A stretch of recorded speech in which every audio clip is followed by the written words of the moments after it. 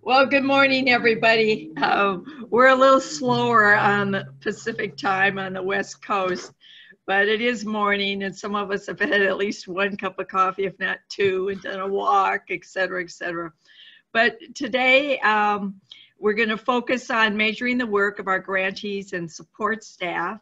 And we have as our facilitators uh, Rachel, Janine, and uh, Tara who are going to uh, walk you through the CTEIG da uh, data collection, and that will be Tara, as well as the K-12 Strong Workforce uh, data collection. And then at the end, talk a little bit about some of the troubleshooting and next steps and what you can expect. So with that, let me turn it over to, I think it's Janine that's going to start.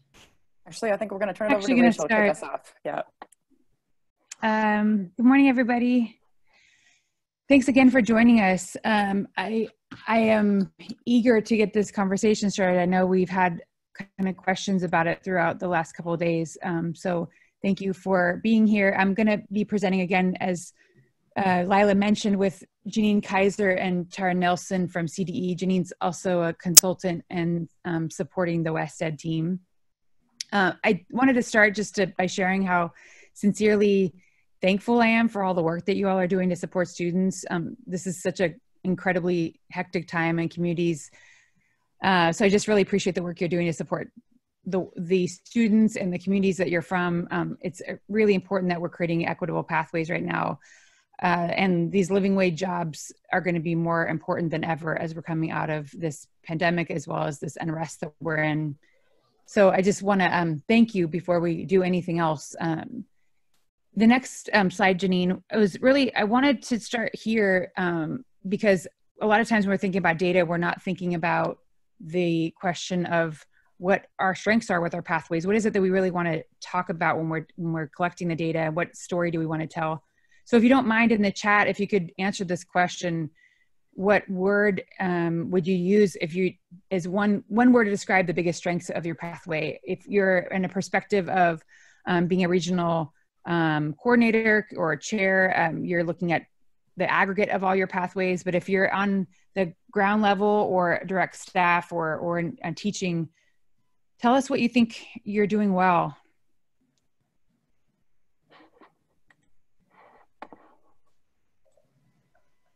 Relationships, transparency, teachers, of course, collaboration, internships, inclusiveness, innovation. Oh, I love these.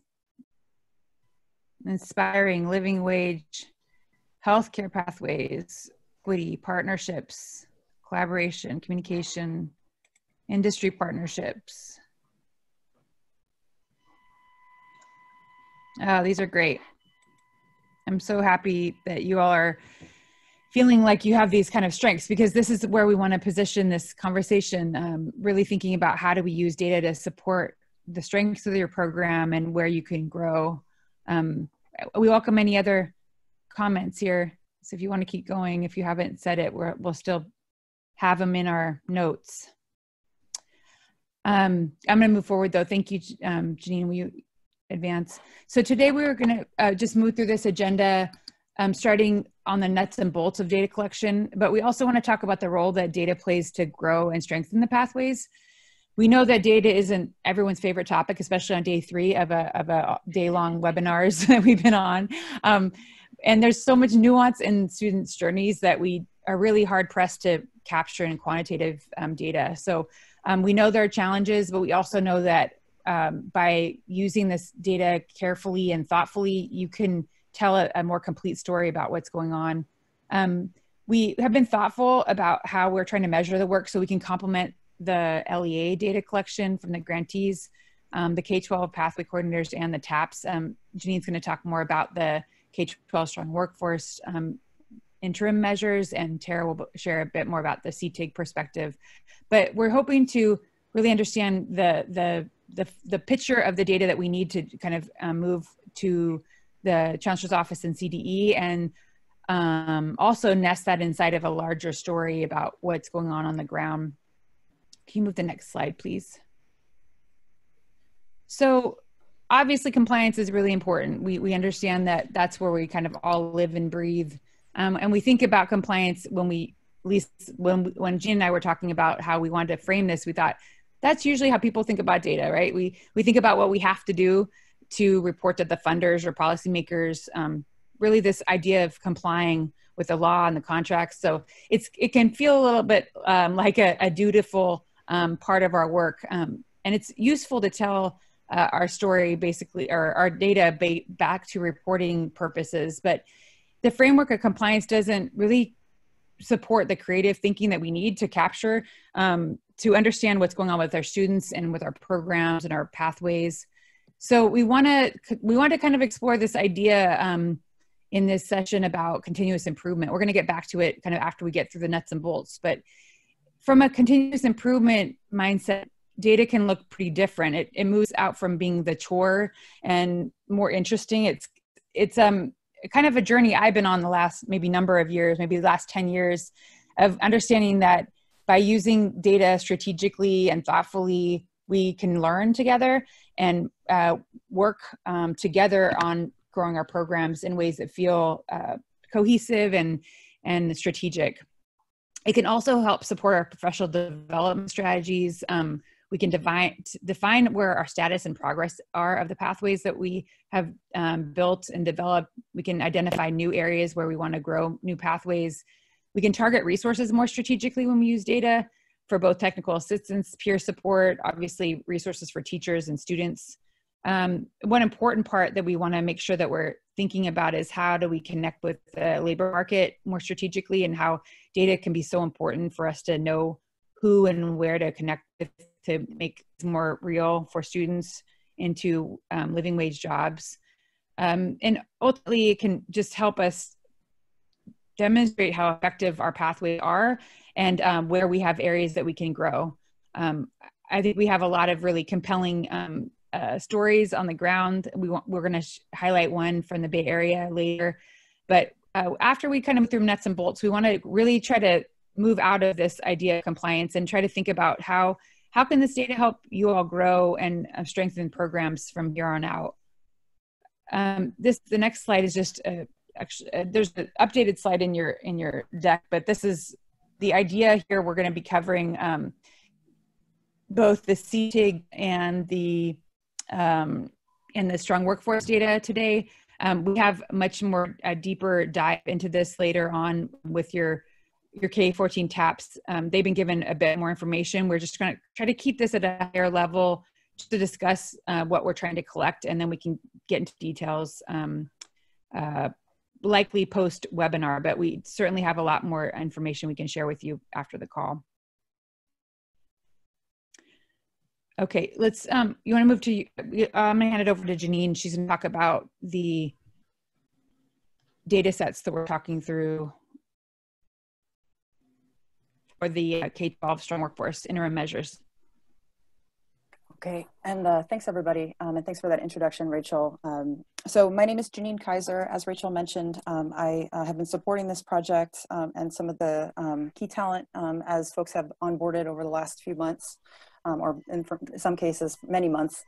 I uh, came to this work because I was a former K-14 TAP under the old framework. And so I had a lot of experience working closely with data, both from a compliance and also from a continuous improvement perspective. And so I'm hopeful um, that what we share with you today resonates well um, from that lens. Um, or it makes sense from that lens. Um, so I just wanted to share my background to make sure you understood where I was coming from in some of these comments.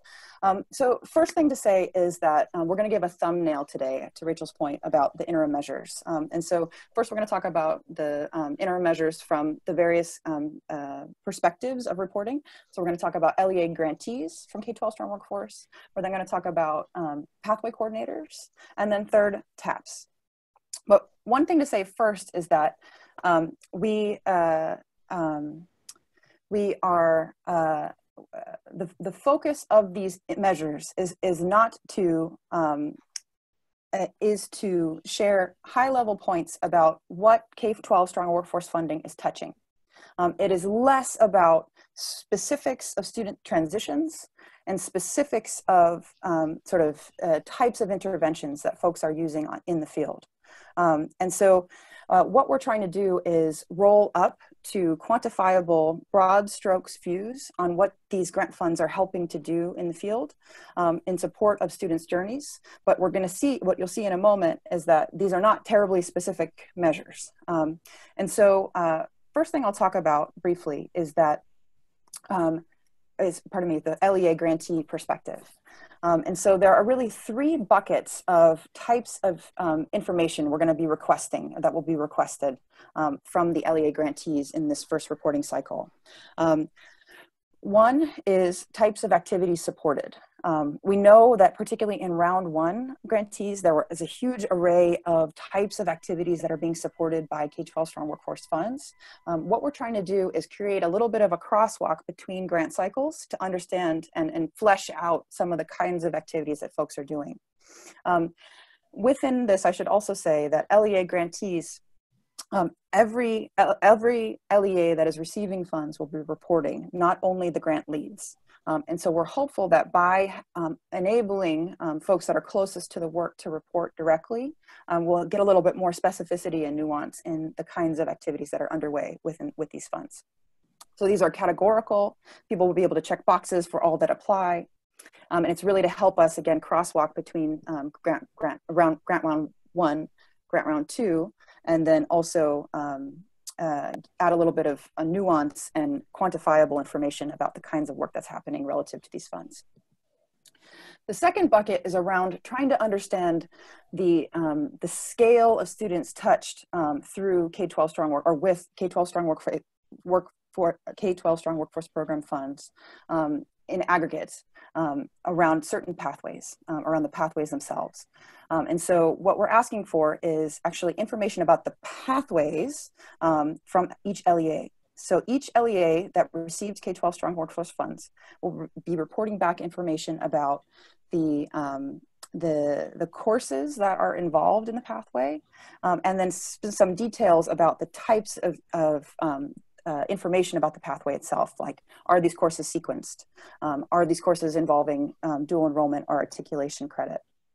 Um, we um, hope with this information to then connect it to public information to, um, or we, we will connect it to public information to get a sense of scale of students touched.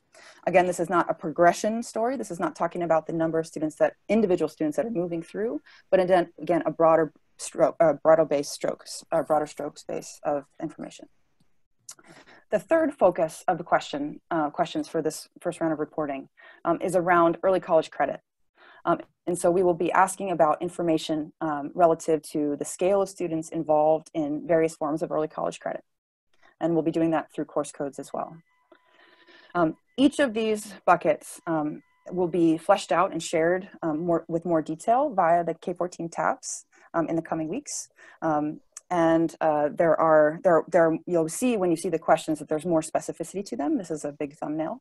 Um, but what I want to say is just that we um, spent a lot of time connecting with LEA grantees to, to test some of these concepts and um, uh, to test the way that we ask the questions as well as the um, uh, approach to these questions. And there was responsiveness and, and um, uh, uh, I think, a good response to the way that we went about doing this, both balancing um, the burden on the field and the benefit to our understanding of the impact of this grant.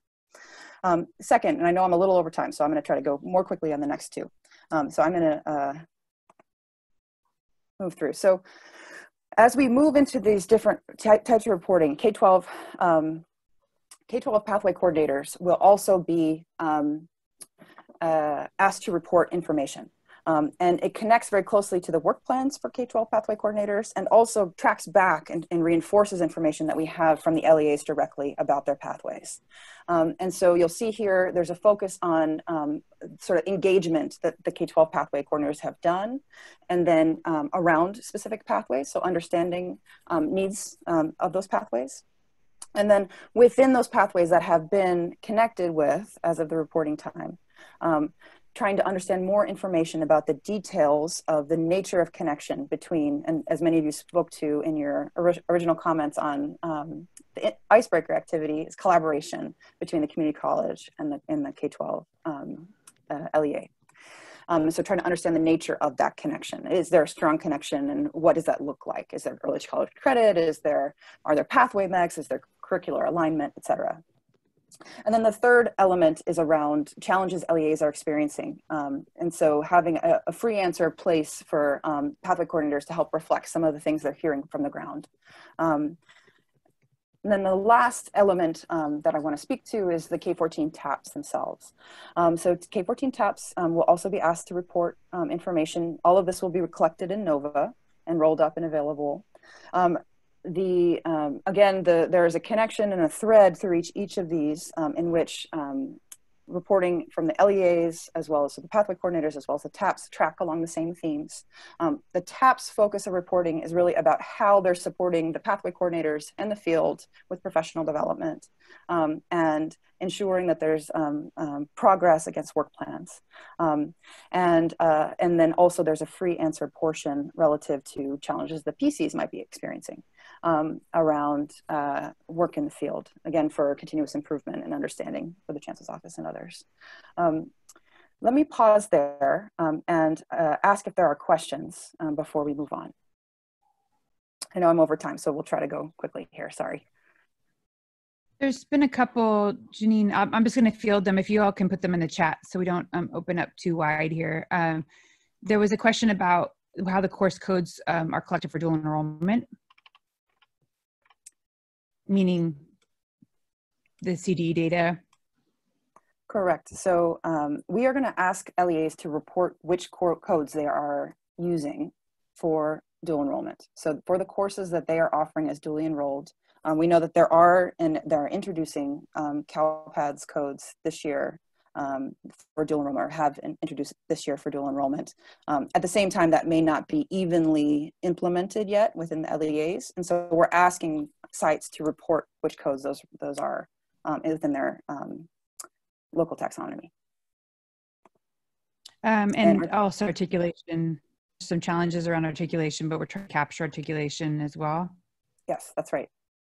And then the other question about if the LEA had to attach the CTEIG self-assessment to their strong workforce application, isn't that is that information already available? Isn't it? Question mark. Um, so I think that that information is available. Um, it is a little bit different than what we are tracking here um, in these, because this, this is really more um, quantified um, around um, the number of students impacted and the number of courses um, affected, pathways affected um, through these grant funds.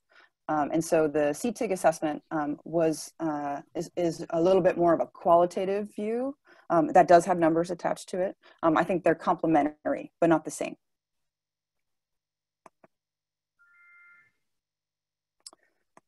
there's also a question about if there are uh, if the the data we're collecting is just for those that are supported by CT and, and strong workforce.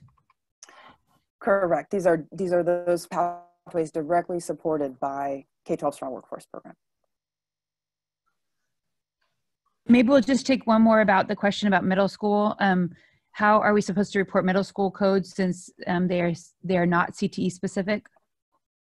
So we have space. Um, so we recognize that there is going to be a range of what pathways look like, and there may be pieces and parts of pathways that are not CTE in these grants. Um, and so it is very flexible. The way that the interface will look is to um, write in, to type in the codes that do are relevant to the each pathway. So it, um, it will be flexible. It will allow for that. Um, uh, and then on the back end, there will be analysis around what that looks like.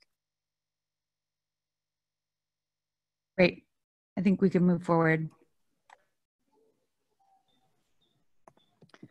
Okay, and then um, very briefly, just want to walk through a rough sense of timing. Um, so I know a, lo a, lot of this is still um, in flux, um, uh, specifically around uh, when reporting will be due. Um, there, we anticipate having more significant guidance soon. Um, so uh, over the past, this is just to reflect where we've been. Um, we, we gathered a lot of stakeholder input from LEA leaders that had received K-12 strong workforce in some districts as a small um, sort of interview process. We then checked in with key, talent that were in, in place um, and regional consortia for input on the measures, um, as well as the Chancellor's Office. So there's been a lot of stakeholder input to date. Um, right now, we are in a stage of preparing NOVA. And so the, the interface for collection of this information is through Nova, similar to the application process. Um, and uh, their, their product ops within the Chancellor's office is now currently building um, or will be in the process of building soon um, that interface. Um, the, the hope and intention is to have that interface be live as soon as possible, um, targeting July. Um, and then with measures due in September, but there's some caveats around exactly the date yet. So um, we are awaiting guidance um, on what that will look like specifically, but it will be coming in the early fall will be the deadlines for these information and there will be the ability to collect information um, in the summertime. Yes, this is late breaking, Janine. Um, uh, we, we did talk about, um, I think Sandra and Lila shared September 30th as the date. Okay. Sorry, I have a typo. I just included it. You could see um, I did a zero two two zero, um, and that um, their report to the legislature is in November. Great. Um, and all of these interim measures are leading up to inform that report as well, as well as development of the field, or information about the field. Any questions?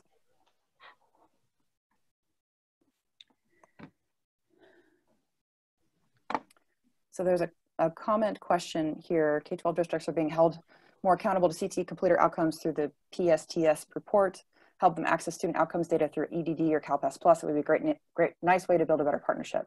Um, it would be great. Um, and I think that the focus in this, um, in sort of this portion of our discussion is really on this compliance interface, which is more, is a sort of a step back from that. Yes, not quite there yet. Not quite there yet. Um, all right, so how will the announcement come out once NOVA interface is ready? Um, so uh, stay tuned. Um, the Chancellor's Office will be um, advising regional consortia um, when that is available. And then I'm gonna lean on Lila um, and Sandra if she's on the line to so, so, be more specific about what that will look like. There's also a question about CalPASS plus training. Yeah, and we're going to get into that very briefly um, a little bit farther down the road. That's not the scope of today's conversation, but I agree with you. It's super interesting, and I think it would be great to have a training on that at some point. But we'll talk about that at a very surface level in a few minutes. We certainly um, need to address and, and plan to um, do NOVA training for folks, for sure. Tara, you on the line? You ready to, to take over um, the next slide being on CTA? Sure. Okay, good morning, everyone.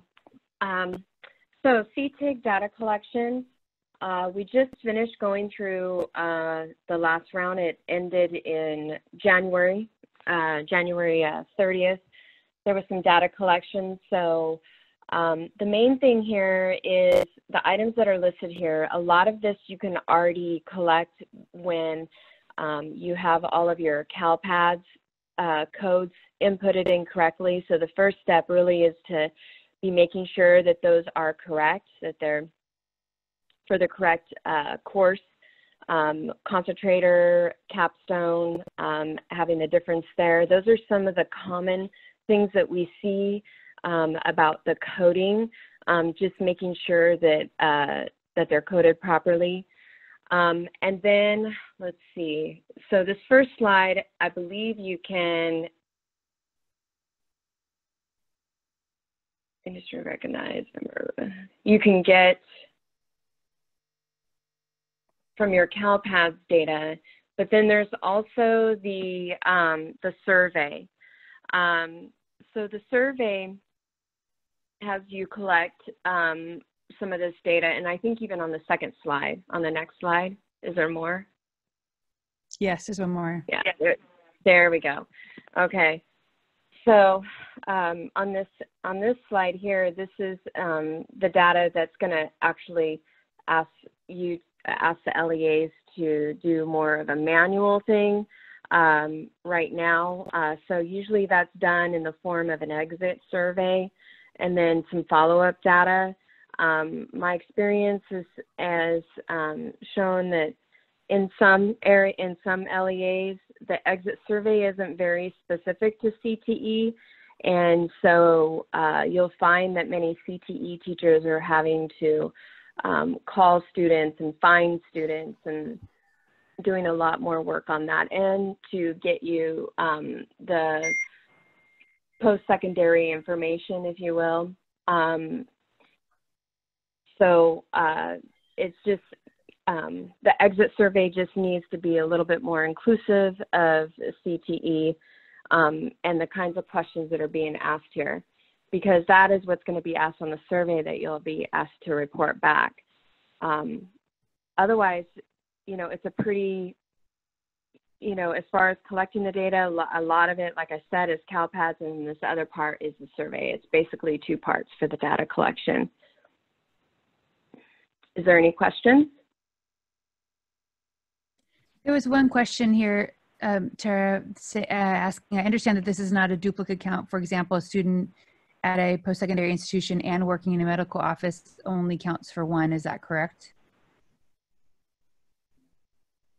Um, I'm going to have to get back to you on that one because that is a good question as to how we want to count that. I will have to get back to you. Great. Great. I will. Um, I'll send you. It's it's Elizabeth's question, and I'll make sure you get it.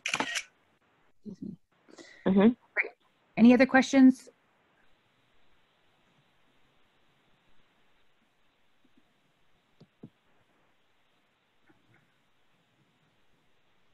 Um, can dual enrollment courses be coded as capstone courses for CalPADS? Are they being used for as a capstone?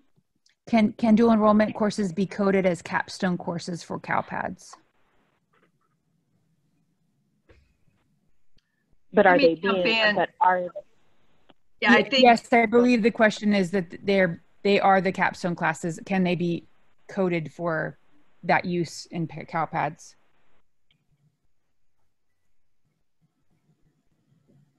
So Again, I'll have to get back. Go yeah, ahead. I think the determination is if they are used as a capstone course. It has been my experience that most of the dual enrollment is not a capstone course, but rather the transition, the bridge to the community college. But if there was a course that truly there was agreed upon um, criteria that it met the capstone criteria, could be could be used then in that capacity. But that would be a local determination. I this is uh, Denise in Imperial County. I think that's a question with regards to CalPADS and the College and Career Indicator. Um, and it's my mm-hmm. understanding, yep, Lori Morton just put it in the chat that according to CDE, you cannot use dual enrollment as a, cap- as a capstone for the yeah. college and career indicator. So if we're talking about CCI, that's the rule there. But if if we're looking at other ways to track data apart from the CCI, I don't know if that was the question. If it was specific to CCI or if it was different. Okay. There's a question about if military entry, including academies, are counted. military academies. I know that that question is is asked. If they if they enter the military, is that considered in? Yes, it is. That is something that is asked. Um, if they have gone into the military, so that would be another indicator.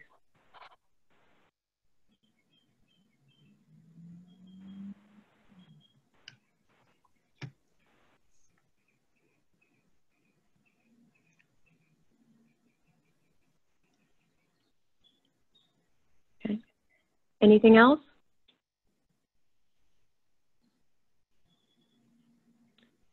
All right, well, I will get back to you on some of these other things that you asked about. Thank you.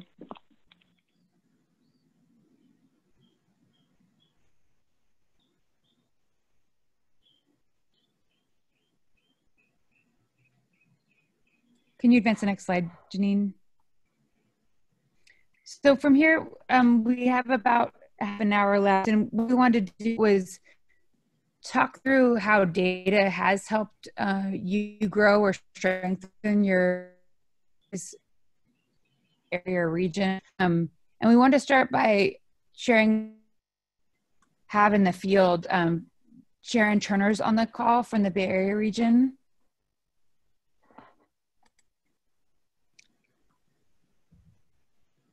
Hi, can you hear me? Hi, Sharon. Sorry, my my um, uh, Wi-Fi is not what it should be. So I'm um, sorry if I'm cutting out.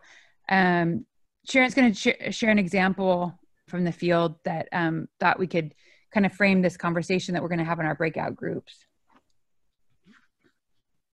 Thank you, Sharon. Yeah, great. Thanks, Rachel. Can you go to the next slide, please? Great, so thanks for having me here. Um, Rachel and Janine asked me to talk a little bit about how data has been used um, in the Bay region in um, a way to help advance K-14 pathways. And one example of that is in working with uh, the high schools and community college in Santa Cruz County, Cabrillo College. Uh, they pulled together a meeting with CT faculty at the high school and also the college because there was an agreement that um, both the high schools and the colleges were creating their pathways in silos and they wanted to um, work together to change that and really be able to look at the labor market data and reflect the job need. Um, so we looked at some K-14 transitions. Uh, we were able to get some data from CalPASS Plus, and actually Janine Kaiser on this call was very instrumental in helping to put this data together, along with Karen Beltramo, who at the time worked for our regional consortium, is now at WestEd. And we were able to take the data from CalPASS CalPASS Plus, looking at what students um, were doing on the high school side who were in CTE programs and also looking at students who were not in CTE programs. And then seeing um, what did that reflect, what did we see on the college side. So you can see really briefly here that um, the number of students that were enrolled in pathways versus the number of students that were not enrolled in pathways and how they, uh, what the numbers were for then enrolling in college after high school graduation within one year. And there is um, a slight advantage to students who are uh, enrolled in pathways. So that was really exciting. And then you can see on the right hand side of the column, uh, the number of students who were in pathways that completed 30 units within two years versus students that uh, were not in CT pathways. So again, that there was an advantage to students being in pathways.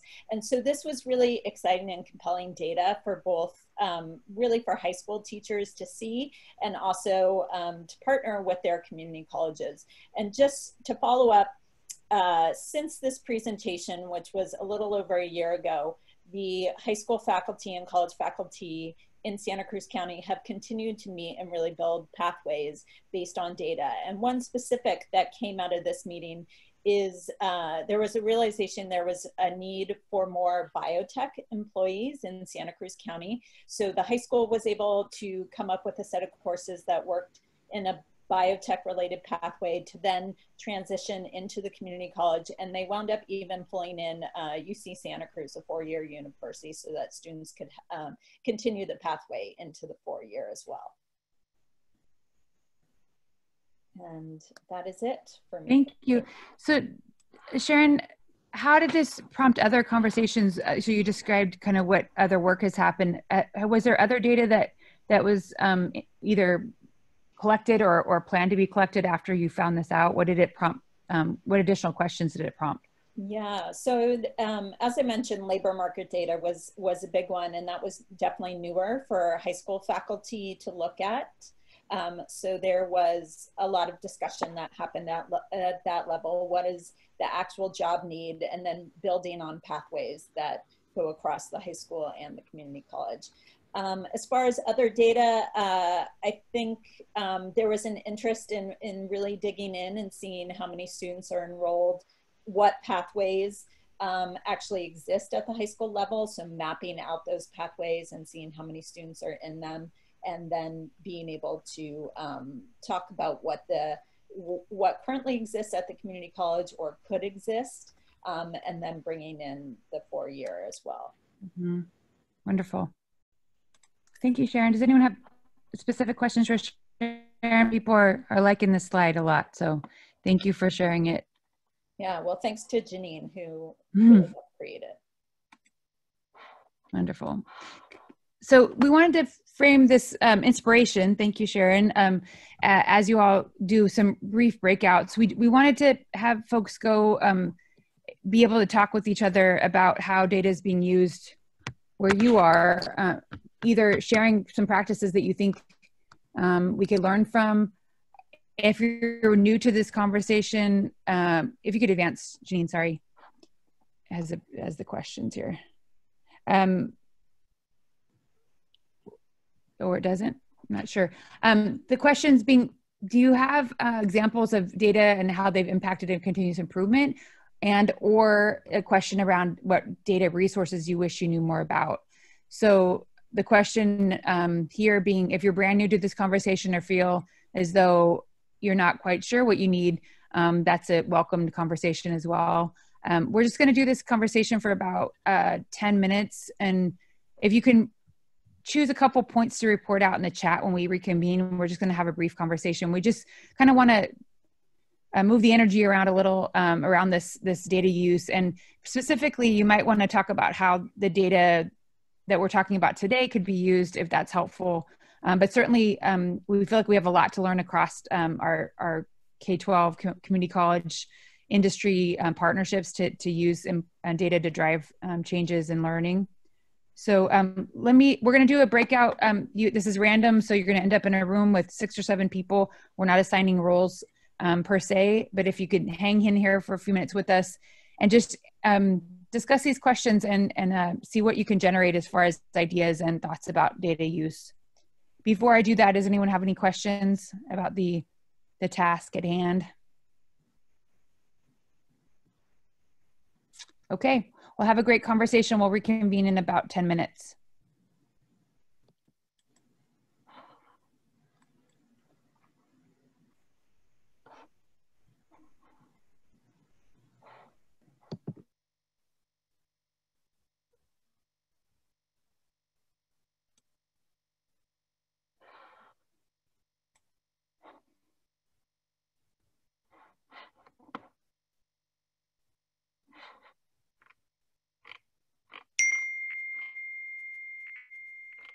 Hi, everybody. Morning. Excuse me, morning. Morning. How is everyone? Good. Great.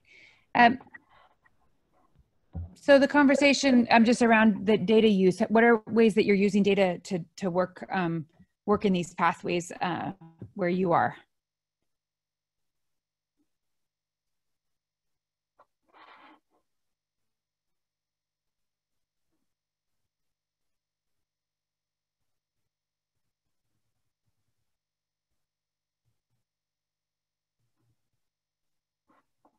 You all there?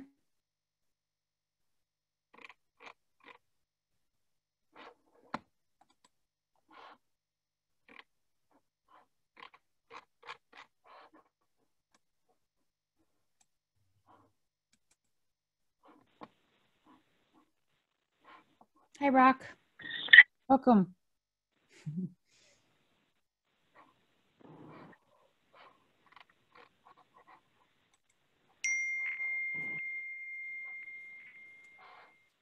Hi, everybody. Can you all hear me? I, am not sure if it's me or not.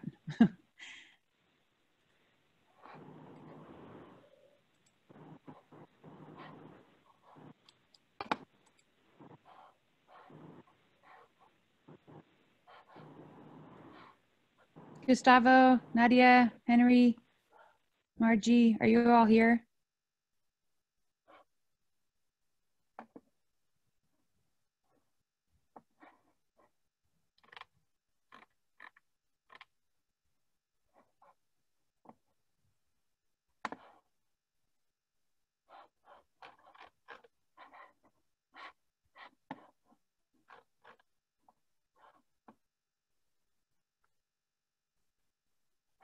Margie, are you here? I thought I heard your voice.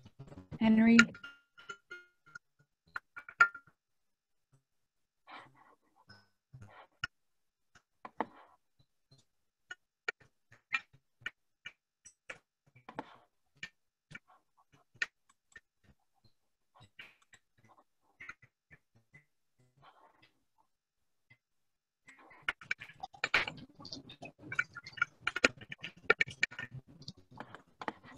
Can you hear me? I'm here. This is Henry. I can hear you now. Hello, hello. Hello. Hello, hello. Hello. Can you hear me?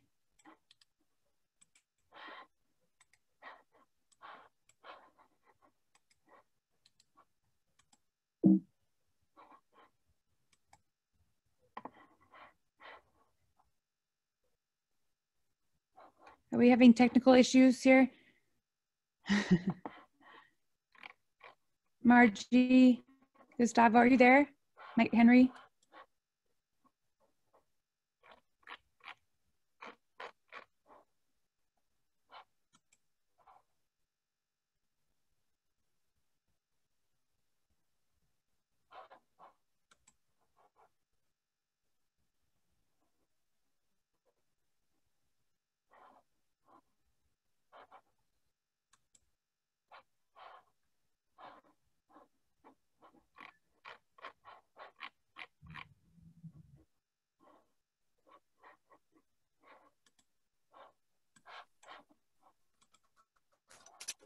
Can you hear me now?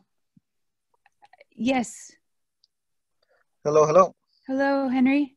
Can you hear me? Yes. Hey, yes. yeah, sorry, I, I was I could hear you, but you couldn't hear me. Okay, I, I don't know if, I'm, I'm just don't know. worried my tech, my tech issues are me- messing us all up, but Yeah, I think I think the uh we can hear you, but we couldn't like speak in because I was trying to unmute myself and mute myself back and forth. oh, yeah, I'm sorry. Oh, that's So, okay. Where are you, where are you coming from? Uh, Santa Cruz. Ah. So how are you, how, how do you see data being used well where you are?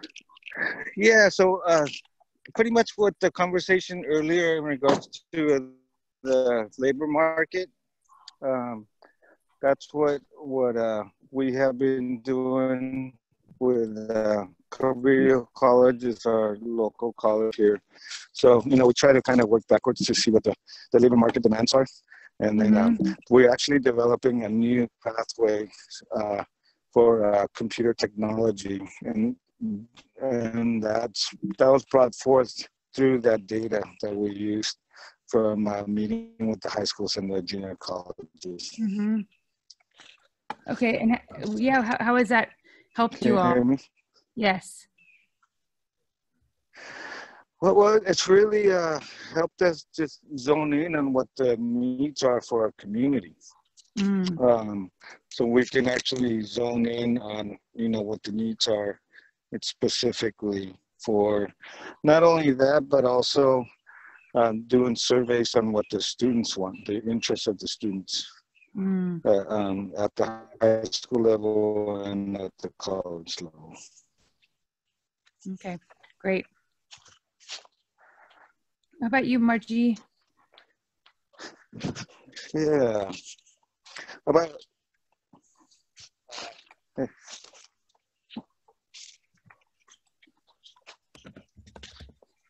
I hope others aren't having this problem with this technical issues big.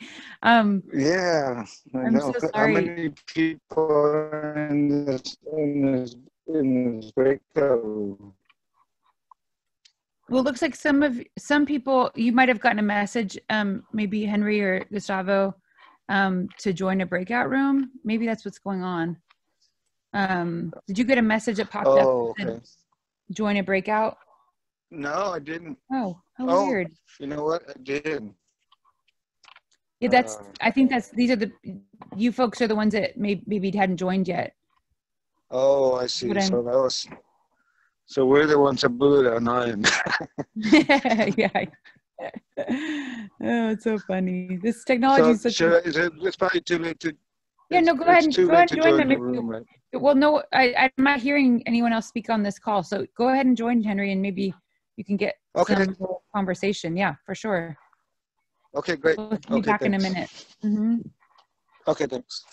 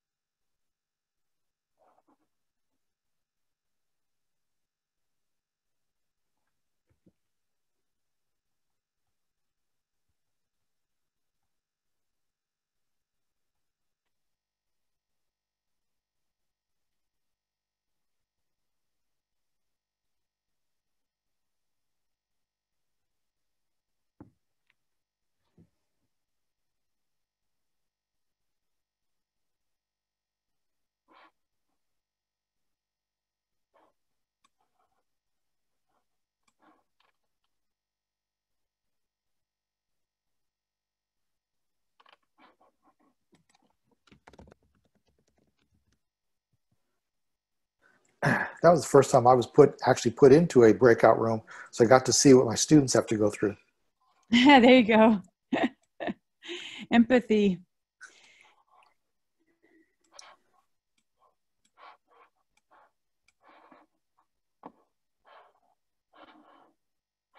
Great. I think we have most folks back.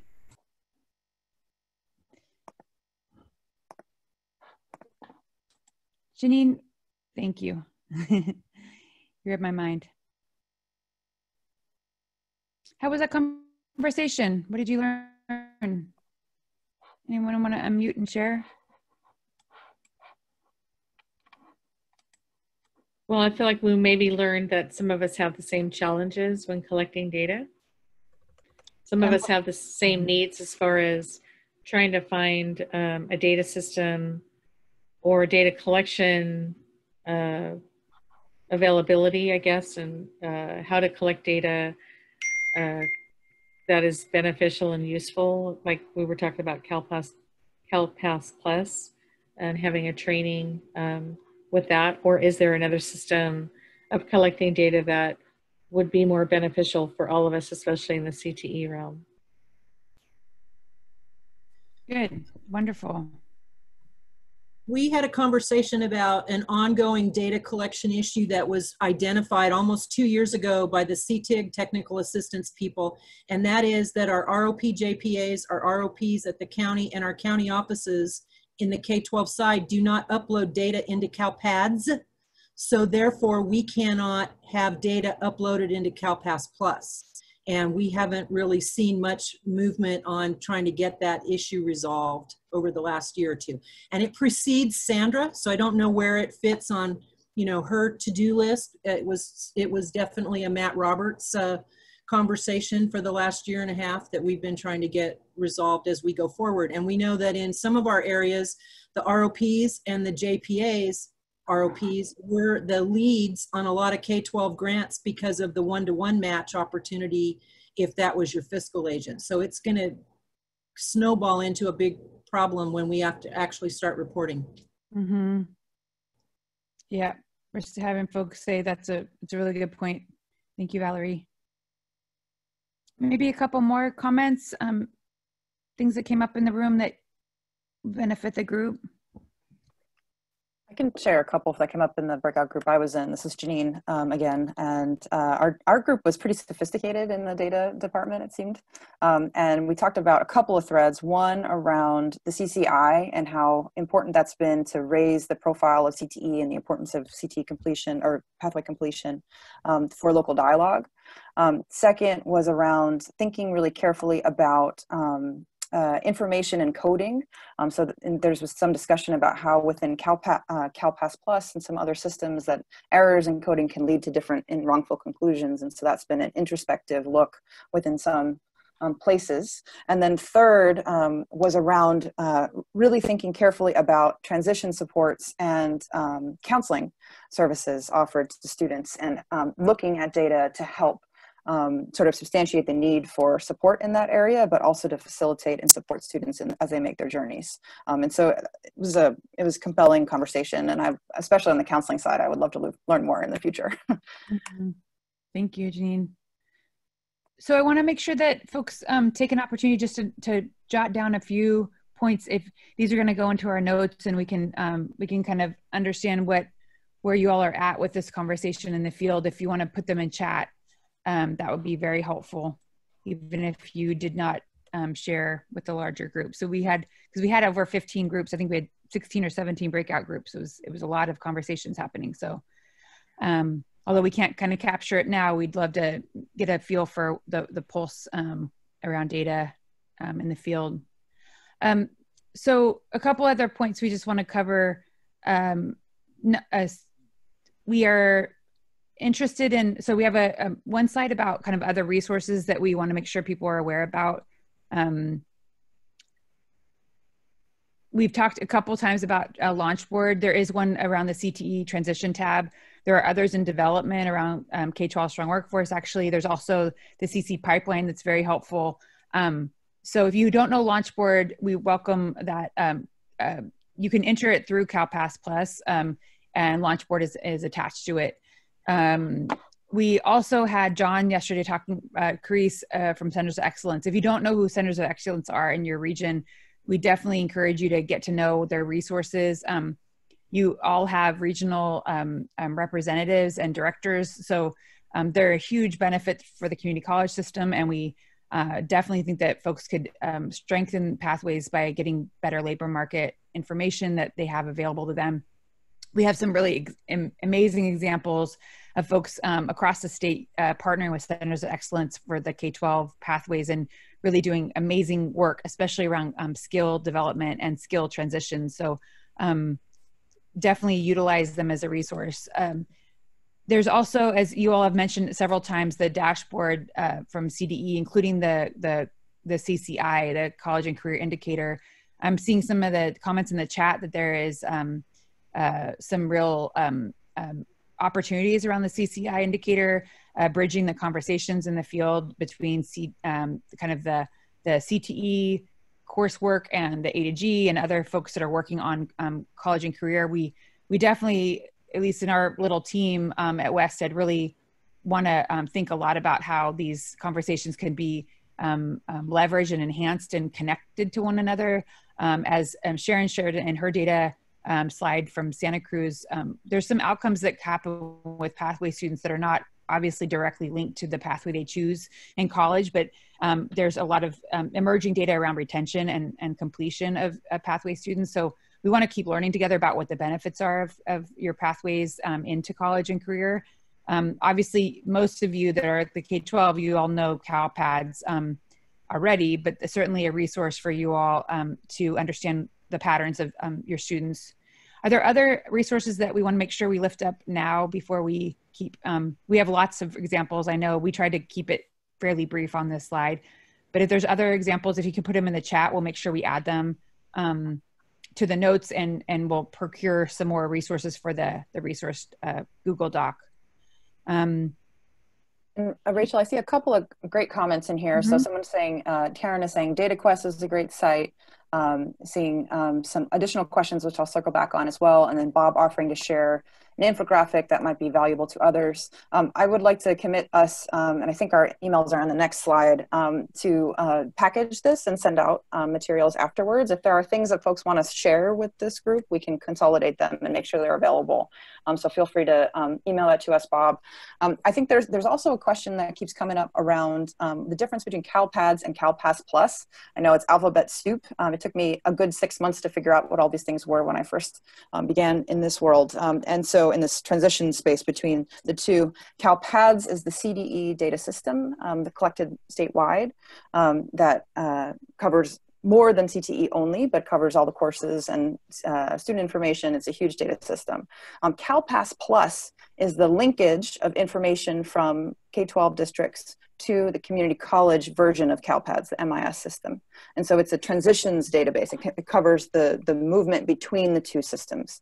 Um, it's not, it's not um, you know, 100% uh, there are it is a great mm-hmm. tool and has a, mm-hmm. development continuing on it um, it doesn't capture everybody um, but it captures a lot of students um, and so uh, that is i think a conversation that is um, it is a great tool, and I think Tanya shared an information session that was available around CalPASS Plus um, in the chat, so we'll make sure that that goes out in the subsequent communications as well. Um, so uh, we'll, we'll try to consolidate some of these. Yes, and and just um, I know we're coming up on time. We're going to hand it back over to to Lila, but I I wanted to just mention um, that the the plan from here on out um, in terms of the the K twelve um, strong workforce interim measures is um, to keep disseminating um, the information through the regional chairs and your K-14 TAPs. Um, uh, we have um, um, other kind of the channels that we've created um, to get the feedback is kind of the same way we're trying to get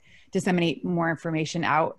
there might be new channels that are created now that you all are on this call, but that I just want to make sure that you all know who we're talking with and the deeper kind of data that um, uh, elements that that Janine described can be um, procured and discussed with your regional um, chairs and um, consortia chairs, as well as your your TAP. Um, if you don't have a TAP, then you defer to the, the, the your regional consortia chair. Um, we're obviously open to, to questions as well. Um, the next slide has our contact information for um, Tara, myself, and um, and Janine um, welcome any communication that is needed. We'll we'll do our best to procure some um, good resources for you all for based on these comments. You have some great ideas that there's so much that we could gather from 100 people working in the field. It's incredible. Um, so uh, we'll do our best to, to try to um, sync this information up. Um, Melissa just posted a survey for this session. We'd love to get your feedback about how we did um, um, and uh, improve as we move forward because that's what data does, right? So thanks everyone.